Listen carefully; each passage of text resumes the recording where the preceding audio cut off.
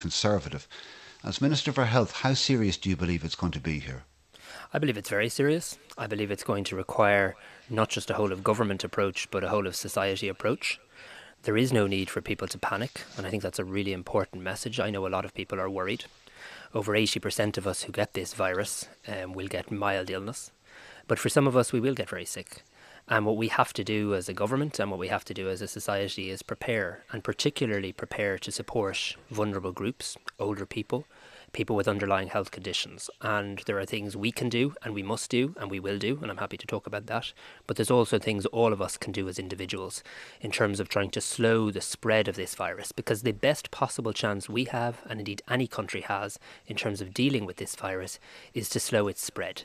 Uh, that helps our health service, it helps our frontline staff, uh, and it helps us all as individuals. So there's things you can do in your workplace today, in your home, in your school, in terms of following the public health advice uh, good hand hygiene, cough etiquette, coughing into your elbow, and not your hand, disposing of your tissues, you know, not going around shaking hands, but doing as people are now doing, elbow bumping and the likes. These are practical things we can all do.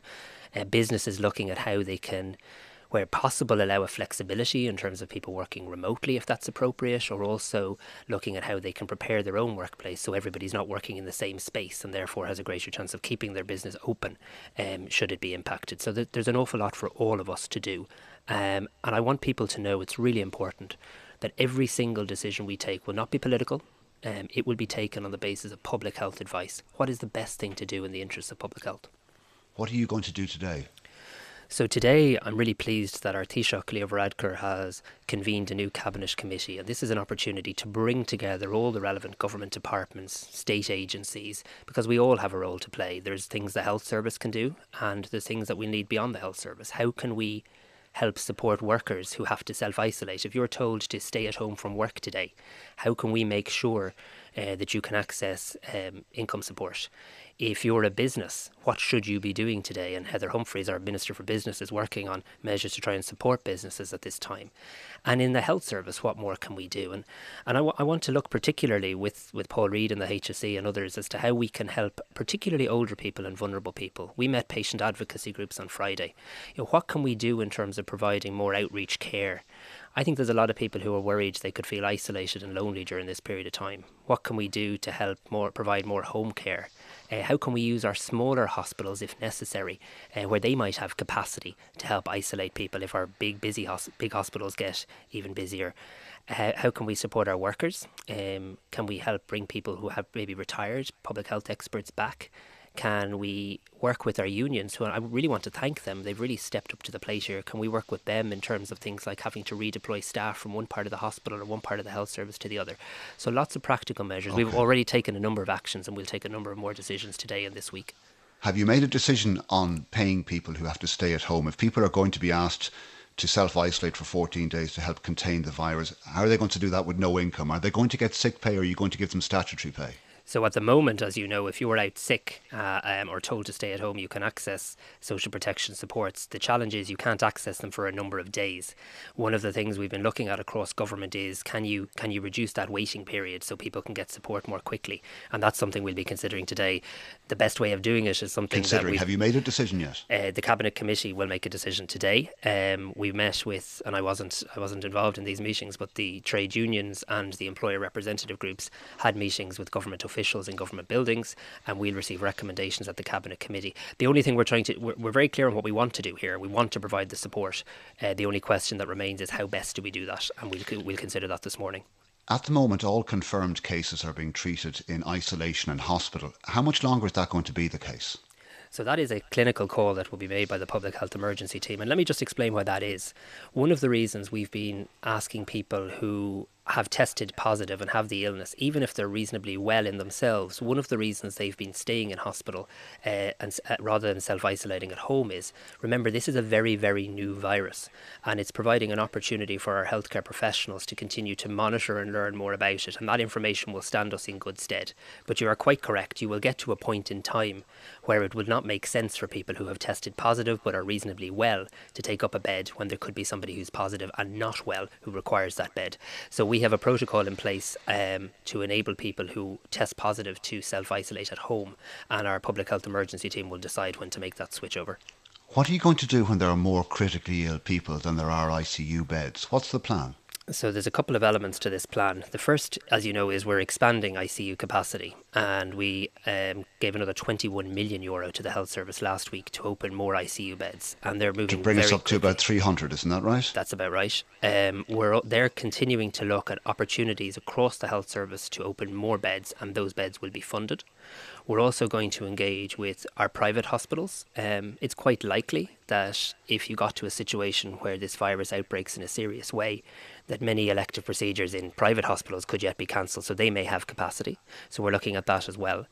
Um, we're also looking at one of the other ways you can increase capacity is obviously increasing the workforce. So lifting any kind of restrictions on recruitment. Up until now, obviously, all recruitment, um, you've only been able to recruit funded posts. That's the norm. But making it more flexible to recruit more people, bringing back more experts, and also looking at the possibility of our Model 2 hospitals. There are smaller hospitals, Gavin, uh, having capacity to do more in relation to isolation. I do need to say, and I, I know you know this, but it's important for our listeners to know this. You know, most people who get this will not require ICU. Even those who require hospitalisation, many of them will not require ICU. But it is true that we have a shortage here in Ireland, but indeed there's a global shortage, and Yes. uh, and this is a challenge that we're seeing in health services. We're seeing it in Italy today. So everything that can be done is being done. But but people people need to know that if we got to a point um, and there's a moderate to high risk of this, according to the European experts, where this took hold in a very serious way in Ireland. That would require a prioritisation of services. It would require, for a period of time, us focusing on the virus above and beyond uh, other procedures in our hospital. So, where will people be treated when there are more sick people than there are beds? So people will be treated in our hospitals.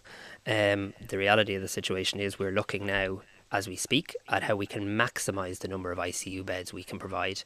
Um, but everybody will be looked after, looked after to the very best of people's ability by some of the best healthcare professionals in the world. Um, we we will not be found wanting when it comes to providing any resources that are required, and the Minister for Finance has been clear in this. Um, our economy is in good stead thanks to the prudent decisions we've made. We have funding available. We will make the funding available. The question now for the health service and for all of us collectively is how can we maximise the capacity both in terms of beds and staff uh, in the coming days and weeks. Italy had 20 firm, confirmed cases on February the 21st. Now it's, it's almost 16,000 and they have 16 million people in lockdown. We've 21 confirmed cases and everything's still going ahead as normal. Why aren't we trying to get ahead of this disease? So we really are, and I suppose I I wouldn't accept that everything's still going ahead as normal. We had our first confirmed case of this last weekend, and since then you've seen the benefit of the work that's been done since January with a number of key decisions made. We've shown a willingness to cancel events as is appropriate. There were a number of rugby games due to take place in this country over the weekend that didn't on the basis of public health advice. We've set up a stakeholders forum to bring together all of civic society, unions, employers, voluntary groups, and that's met twice. There's a new cabinet committee convened. We've changed our protocol, so the National Ambulance Service is now doing a really good job going out and doing testing uh, in people's homes, saves them having to come into the hospital. We have information and experts available in all of our airports providing information, and we've expanded our ICU beds, and we will do more. But it is important to say I mean, Ireland is at an early stage of progression here compared to other European countries. Um, you reference Italy, but look also at France, at Germany, at the UK. But you're right, there is a moderate to high risk. We can't sugarcoat this. There's a moderate to high risk that we will follow a pattern seen in other EU countries. And that's what we're preparing for, and it's what we're working around the clock for. France is cancelling public gatherings of over a thousand people. Germany is considering doing the same. Is it responsible to allow St Patrick's Day festival and gatherings to go ahead now? So I've been Minister for Health for nearly four years, and I've learnt a lot in that time. And what I've learnt mostly is that if you listen to your public health advice and public health experts, you won't usually go far wrong. Our public health experts are considering the issue of St Patrick's Day as we speak, and I expect clarity to be brought to that within the next 24 to 48 hours. I've no interest in making decisions to be seen to take action if our public health experts don't believe it'll make a difference. But whatever our public health experts guide us on in terms of St Patrick's Day is what the government will go with. The Chief Medical Officer and others are providing us with expert advice round the clock in what is a fast evolving situation. Um, this is changing not just in Ireland but around the world on a very regular basis. And we'll meet again this morning um, just after 11 o'clock and we'll have a chance to assess this. But there are also political decisions that need to be made, decisions that will need to be made by politicians and by government. Is it, do you really think that you're, you're showing responsibility by allowing these gatherings to go ahead? Well, just to be clear, they haven't gone ahead yet. So the, the Italy Ireland rugby game did not go ahead because the public health advice was it shouldn't proceed. And we will take the same approach to St. Patrick's Day in terms of the public health advice. We will follow that to the letter. We've also published on Friday uh, guidelines for event organisers. I'd encourage people to go to the Department of Health's website where there's questions that all event organisers are meant to consider before proceeding with an event. So we will be monitoring this, as I say, on a constant basis, and it will evolve and it will change. And as the information changes, we'll make that public as well. So there is no decision uh, in relation to the St Patrick's Day event yet, but I expect there will be very shortly. There are big decisions to be made. It's arguable as to whether you have a mandate to make those decisions. Isn't it time to form a national government? Well, it depends on what people mean by a national government. Is it? Is it? I want to say two things on this. So the first thing, and, and, and just allow me say it because it is important. Our constitution is clear. We have a government until the government is replaced. So there is a Taoiseach, a minister, a cabinet working really intensively on this. There's also an opposition that I want to acknowledge are being extremely helpful and responsible and engaging with us. And I spend a lot of my time engaging with opposition spokespeople, uh, leaders, and others, and I want to thank them for that as well. Ireland will have a new government in the coming weeks, uh, and I, I think that everybody needs to reflect on the need for that new government because the new government is going to be dealing with this situation. This is not something that's going to go away in a few days or a few weeks. So I do think there's no room for party political games. There's no room for party interest here. It has to be about the national interest. And I've no doubt all party leaders will be reflecting on that. A national government with all parties represented? Equally, I don't think any party should use this national crisis and indeed global crisis as an opportunity to kind of use it as leverage to get into government. There are a number of ways a government can be formed. There are a number of ways of getting to 80 seats in Dáil Éireann. As the health minister, and speaking purely as the health minister rather than any party politician, I do think there's an onus on everybody now to redouble their efforts. My party position on Sinn Féin is clear and remains the same, but there are many ways of forming a new government, okay. and I think that needs to happen sooner rather than later. Simon Harris, Minister for Health, thank you for speaking to us this morning. It's 25 past 8. Yesterday, the chief executive of the HSE, Paul Reid, said the number of staff self isolating at Cork University Hospital was close to 100 since it had a confirmed case of COVID 19. Outpatient appointments at the hospital between today and Wednesday have been rescheduled, but essential services like dialysis, cancer treatment, and cystic fibrosis appointments will go ahead as normal. We can talk now to Dr. Richard Bambury, who is a consultant